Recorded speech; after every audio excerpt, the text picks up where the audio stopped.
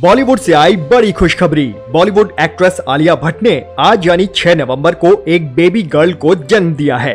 Fan से लेकर celebs तक आलिया रणबीर को पेरेंट्स बनने की शुभकामनाएँ दे रहे हैं। आलिया रविवार सुबह ही मुंबई के एच एन रिलायंस हॉस्पिटल में एडमिट हुई थी।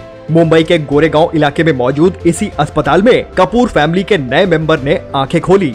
सोशल मीडिया पर आलिया ने बेबी के आने की ऑफिशियल अनाउंसमेंट की। आलिया ने अपनी पोस्ट में लिखा हमारी ज़िंदगी की बेस्ट न्यूज़ आ गई है। हमारा बेबी इस दुनिया में आ गया है और वो कमाल की लड़की है।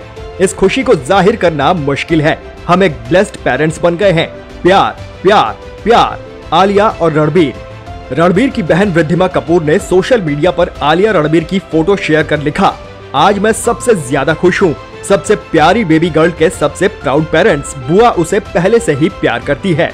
रणबीर कपूर रविवार सुबह आलिया को लेकर अस्पताल पहुँचे थे। ये वही अस्पताल है जहाँ ऋषि कपूर भर्ती थे और उन्होंने आखिरी साँसें ली थी। पहले कहा जा रहा था कि आलिया नवंबर के आखिरी या दिसंबर की शुरुआत में बच्चे को जन्म देंगी, लेकिन नवंबर की शुरुआत में कपूर फैमिली ने बेटी का वेलकम किया है। हाल ही में आलिया की गोद भराई की रस्में हुई थी। इस सेरेमनी में बी टाउन के कई सेलेब्स शामिल हुए थे। रस्मों में भट्ट और कपूर खानदान, कपल और उनके होने वाले बच्चे को आशीर्वाद देने पहुँचा था। इस गोद भराई की कई फ़ोटोज़ आलिया ने खुद सोशल मीडिया पर शेयर की थी। 27 जून को आलिया ने प्रेगनेंसी की अनाउंसमेंट की थी। आलिया ने हॉस्पिटल की फ़ोटो शेयर कर दिखा था, हमारा बेबी जल्द आ रहा है।